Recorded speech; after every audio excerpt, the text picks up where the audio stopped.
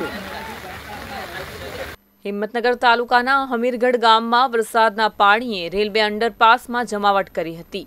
જો કે આ માર્ગ ઉપરથી એક એસટી બસને જીવના જોખમે બસ ચાલક અંડરપાસમાંથી બસ પસાર કરવાનો પ્રયાસ કર્યો હતો.